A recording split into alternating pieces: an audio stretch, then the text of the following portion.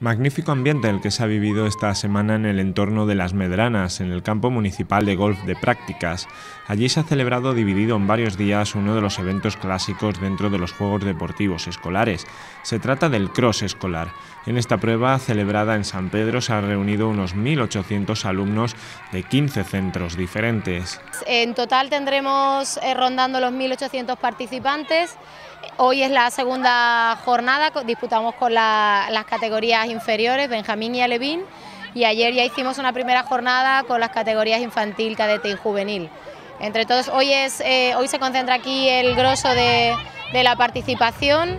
En total tenemos 15 eh, centros eh, a lo largo de los dos días, muchos de ellos repiten en las dos categorías pero bueno, hoy casi todos los centros de primaria y, bueno, algún, algún centro que comparte primaria y secundaria. El recorrido es similar al del Cross de los mayores, que todos los años se celebra en San Pedro.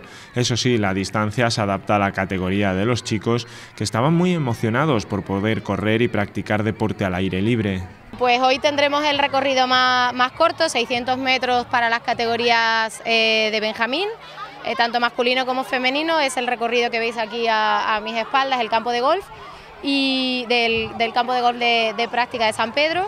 Y las categorías eh, en Alevín, tanto masculino como femenino, harán el recorrido de 800 metros, que ya se pierde dentro de, de la zona de eucaliptos. Es una única vuelta, tanto para benjamines como para alevines, es un recorrido sencillo, muy cómodo, y está perfectamente acotado y preparado para que bueno pues eh, minimizar cualquier tipo de, riesgo y que hoy sea pues una jornada de disfrute como ya habéis visto que están aquí todos hoy encantados y deseando participar. Después de esta prueba, los centros que así lo quieran pueden presentarse para la próxima cita dentro de estos Juegos Deportivos Escolares, que ya tendrá lugar a principios de mayo.